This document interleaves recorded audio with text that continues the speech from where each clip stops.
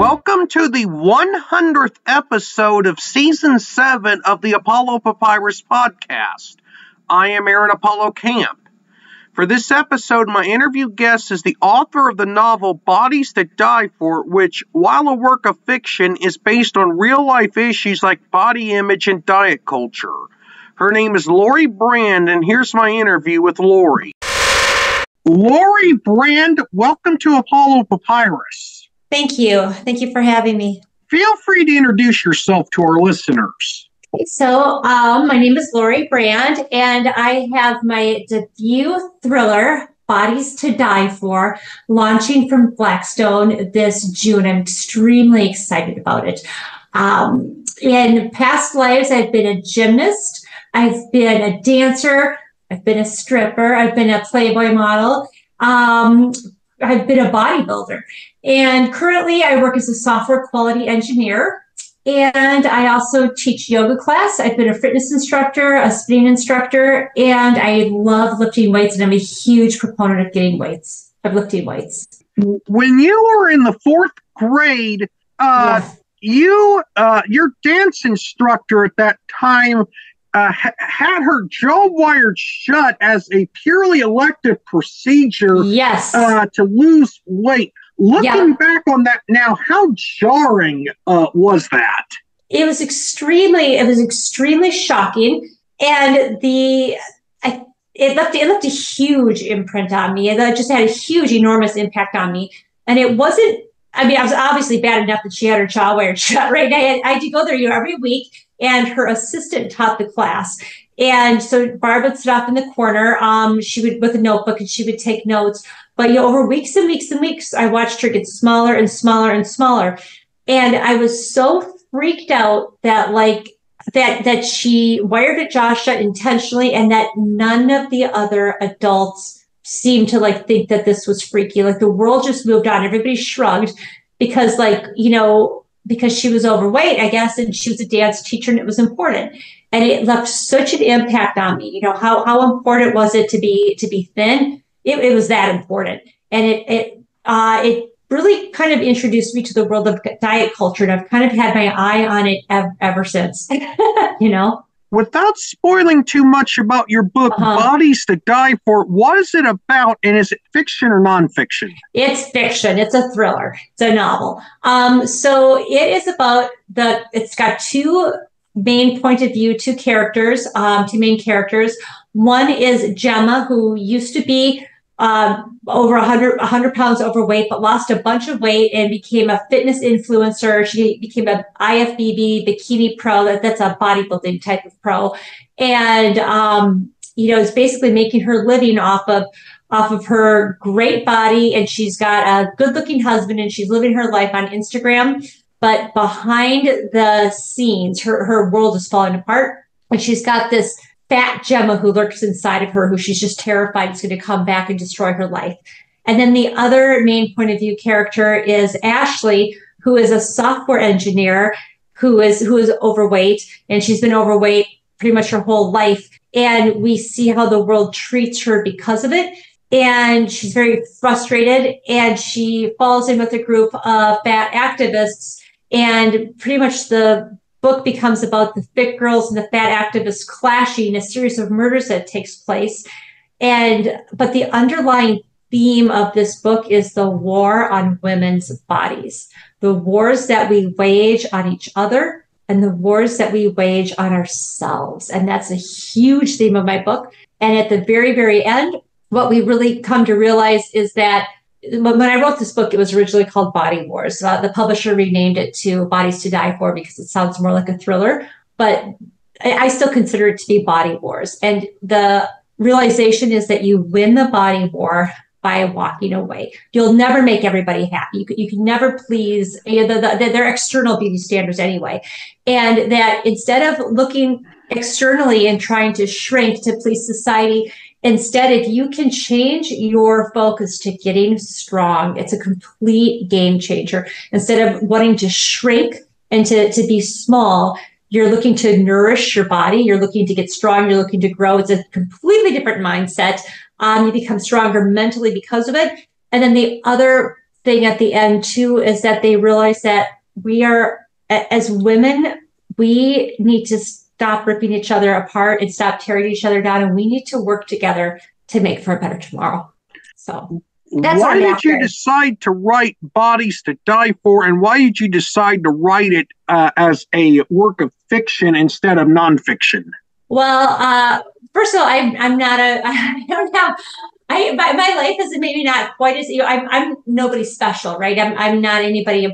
So in general, if you're going to write a memoir, um, it works much better if like you're a famous actress or a musician or something like that that that somebody would be interested in. I, I don't have a particularly you know interesting life. Um, I mean, it's a little bit interesting, interesting to me. But if I want other people to read it, um, I have to make it pretty interesting. And so my my world was quite as interesting. Also with fiction, you can control it completely. You can control that arc, you can control that tension, you can control where different beats happen, and you can control the resolution and the outcome. And that um, I really wanted to throw a magnifying glass up to the world um, the world that we were living in. And I wanted to really examine all facets of that, of, of, um, of diet culture and the impact it has on so many varieties of people's lives. And the best way for me to do that was was in fiction, where I could completely manipulate the world. What was the hardest part about writing your book? I think it was finding the time. Um, I have a full time job. I work as a as an engineer Monday through Friday. Um, I I teach uh, yoga classes on the weekends. I do volunteer work on the weekends.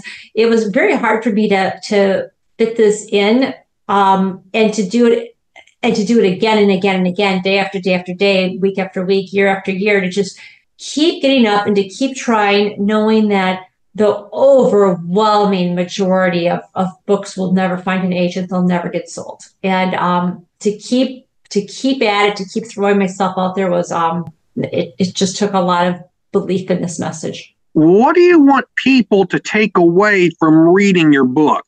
I would like people to uh, two, two things to what I would really like it if people chose to want to get strong, um, to, to quit scrutinizing their body in a negative way, to, to fighting their body, instead looking at it as uh, something that you want to take care of and that you, you want to nourish it. You know, you don't want to starve it. You want to nourish it and help it get strong. I'd love people to, to want to start lifting weights. Um, Ashley actually got into that's the other character got into uh, boxing. But whatever strong is for you.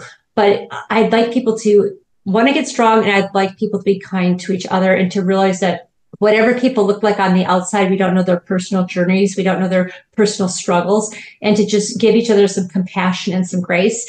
And so often, you know, we say, well, society is this way, society is that way. But you know what? Society is all of us and we we need to work in our immediate spheres to control to to influence our immediate spheres and to, to be kind to each other and, and to spread to spread the light that way you mentioned a little bit about this in regarding uh, the title of your book what was your journey to publishing bodies to die for like Oh, so okay. So I think it's important. Yeah, it sounds like people who read or listen to your podcast are uh, writers. So this is important to know that this is not the first book that I um, I wrote. I wrote a whole other book, created a whole different manuscript, didn't get an agent, didn't sell it. In hindsight, I'm, I'm glad I did. That one wasn't as polished. Um, I wrote that book pretty much for me. It was something that I needed to kind of work through. This book I wrote I wrote for, I've actually dedicated this book to all women everywhere this book I wrote for the world. I really wanted women to read this book. And and it was that determination that I wanted my message out there that gave me that drive. So for this book, I um, you know, I, I wrote it, I wrote it, I wrote it. It took me maybe maybe four or five, six months to write it. And then I, I sent it off to beta readers. I got some of their feedback. I incorporated their feedback. I rewrote the book. Then I um, I sent it out. I queried it with different agents. I, I was able to get an agent. I was very thankful for that. It took me probably 60, 60 or so queries to get an agent. And then my agent and I rewrote the book a million times. And then he took it out on submission. And also, if your listeners, I don't know if they're aware, um, it's very possible for a book to die on submission. Like, like nobody, nobody might buy the book, or they might there might be an editor who's interested in it, but it will it will die in submission. The uh, marketing and publicity people won't think that they can sell it. In my case, we were very fortunate. The editor who was interested in it took it to his publicity and his marketing team, and uh, they loved it. And my my book was bought. My book was bought in May of 2022 and it's going to be launched in June of 2024. So traditional publishing is a really long road. I'll just say that. what is diet culture and how destructive can it be for people who partake in it? So it so diet culture is that constant drip of um of of society letting you know what the ideal body type is. We see it in, you know, if you're ever in line, say at a grocery store, all those magazines that you see, you know, lot, you know, lose five pounds in a week, lose, you know, two, drop two dress sizes in a month, you know, get a thigh gap, things like that. We see it in, um, in, in the, my book, uh, we see Ashley's mother who is always kind of nitpicking at her to, to lose weight. And it comes from a place of, of concern because her mom's concerned about her health, but that you know her her mom always kind of scrutinizing her body. We see it in um in online. People online are can say cruel comments uh, that they do to ashley in, in my book. Uh, we we see diet culture in um in our friend groups. And uh, in, in bodies to die for there are some of the women don't want to be have their picture taken with people who are overweight because they're, they're fitness influencers and they're, they're afraid it will lower their brand uh, we, we see diet culture in, um, we see it in our friends, right? We see it in like, uh, you know, you might have a friend who says, Oh, I don't, I don't want to go to that party. I've gotten so fat. And, you know, we see it when, when mothers talk to each other and they don't really realize that their daughters are listening. You know, when you have two moms having coffee together and saying, you know, Oh, you know, I, I want to lose some weight. I, I feel like I've gotten so, so fat you know, and that there's, you know, little girls are sitting around, they're listening to that. It's just this constant message that it's just everywhere. And it affects not just people who are overweight but it affects it affects people of all sizes. Like like i said um you know when, when i was 10 years old and my dance teacher had her jaw wired shut i was very slim. Um but even in my 20s um when i was working as a as a stripper um you know i had a, a what, what would be considered to be um, culturally a, a very nice body but i was terrified of getting fat. So it affects it affects you whether you're thin, whether you're overweight. It affects you if you're young or you're, it affects kids as young as like preschool. They've noticed it um, and they've done studies. One of my friends was telling me that she was recently visiting her mom in like a nursing home, and some of the little old ladies there, like they're like they're in a nursing home, right? And they're they're concerned about like not getting fat, you know, like I mean, that's just that's just really something, right? That that it, to, to, for it to affect you for decades like that. So that that's what I would consider to be diet culture. How does diet culture impact women today? And you've already, and you've already talked about this quite a bit, but especially, and also this does affect men to some uh, to a much lesser extent, but especially with visually visual media oriented social media platforms like Instagram being mm-hmm. prevalent. How does diet culture impact uh, people today? Oh, well, very much because um, you know what is being put on social media is it's a cultivated picture. Um, sometimes people are even you know photoshopping pictures and uh, you know stylizing them so that it presents an unrealistic standard and and I'm not I'm not actually against social media. I actually like Instagram. Um, I'm probably one of the few people that like Instagram. But you know, if you can, because I think it's it's great to be able to come together and meet other people.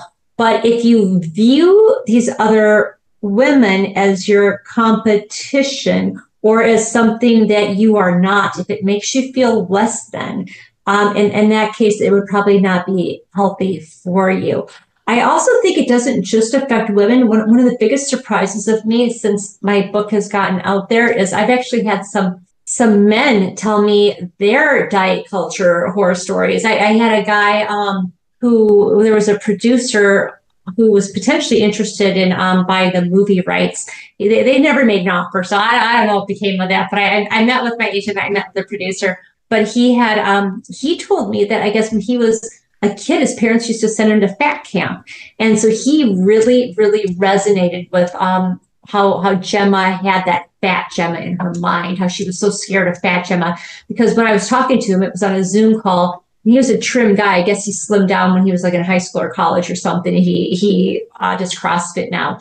But he said that in the back of his mind, he's always afraid that like it's just going to spiral out of control and he's going to end up fat again.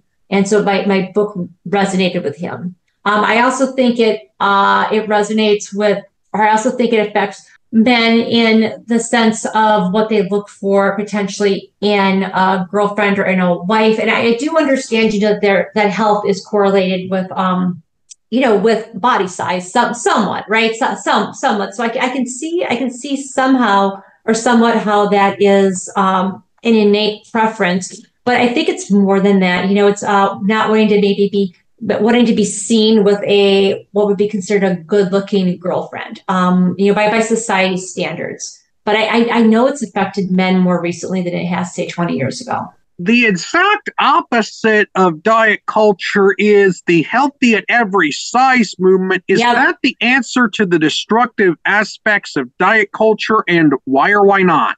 Okay, so and so this is this is the thing that my book um, really explores, right? Is the so both I look at both the good sides and the underbelly of, of both of these things. So fitness inher- you know inherently fitness is good right? You you, you want to be able to you know move comfortably. You want your body to be able to you know run a mile if it has to. You want to you want to nourish your body with healthy food. These these are good things.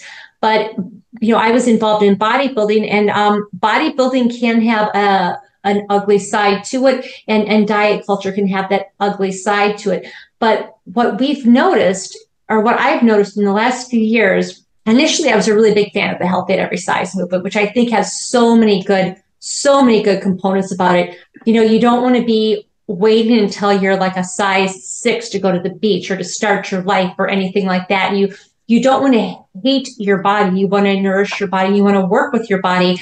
And so there's so much good about it.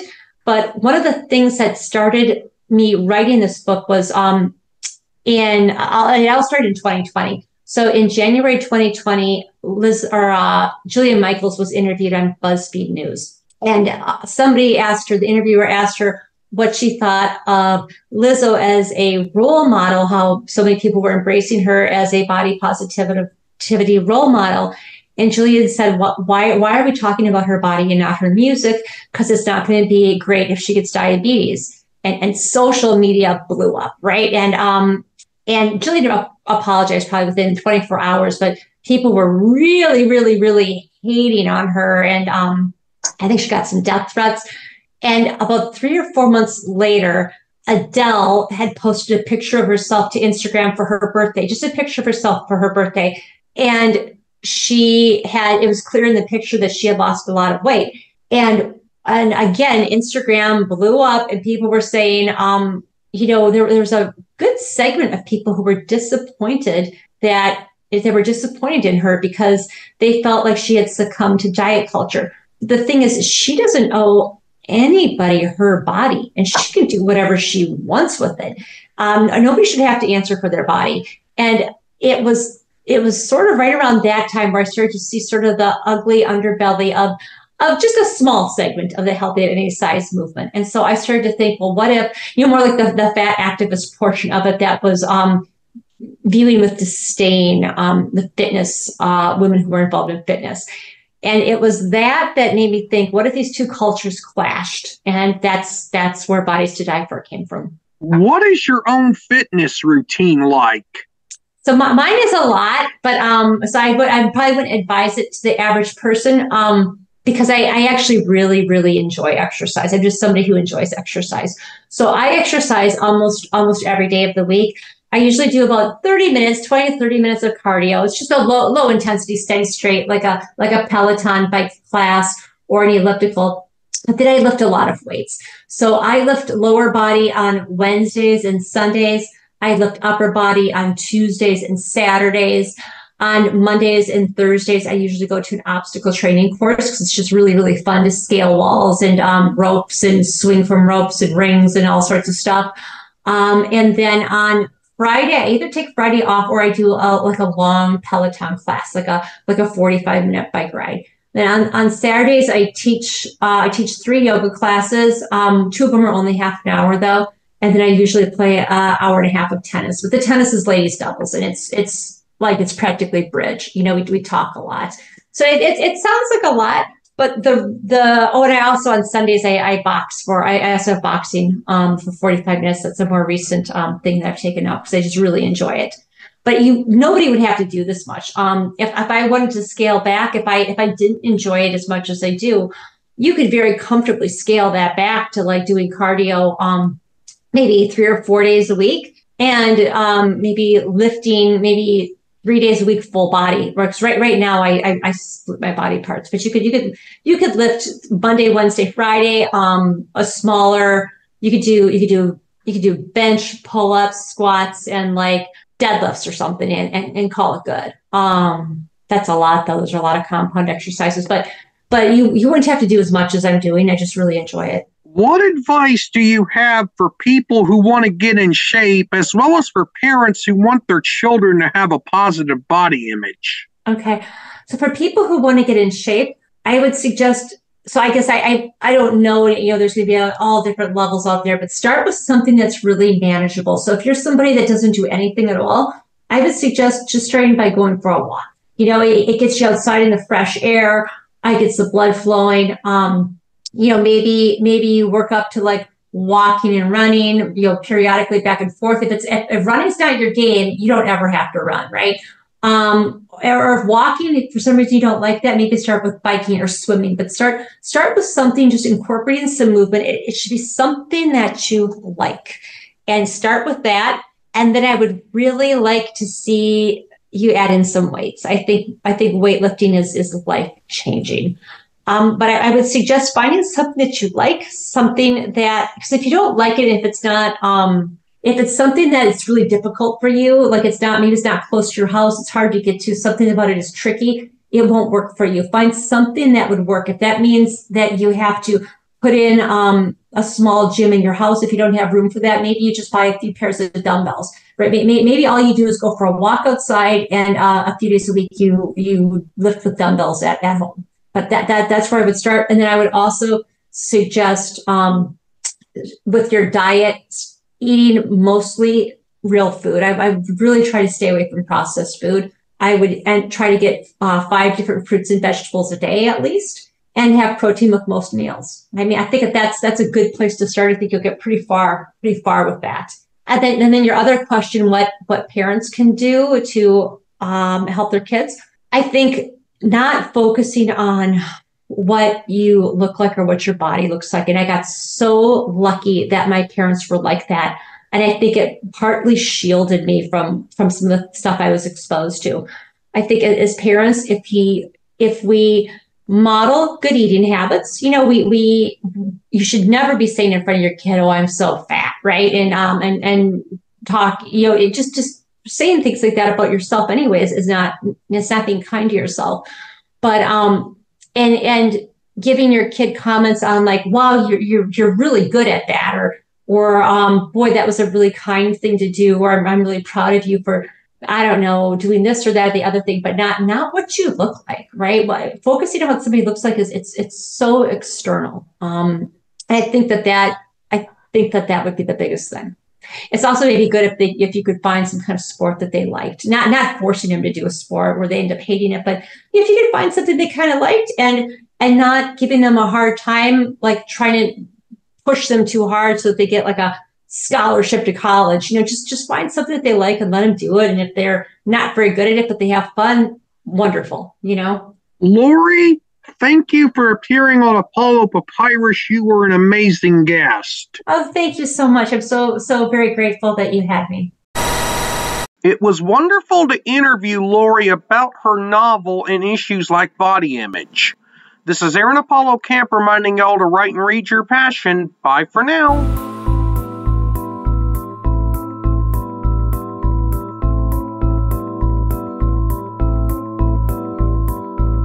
Copyright 2024 Aaron Apollo Camp, all rights reserved. This podcast episode is intended for the private listening of our audience. Any reuse or retransmission of this episode without the express written consent of the podcast host is prohibited, except under fair use guidelines. Royalty-free music and sound effects obtained from https colon forward slash forward slash www.zapsplat.com.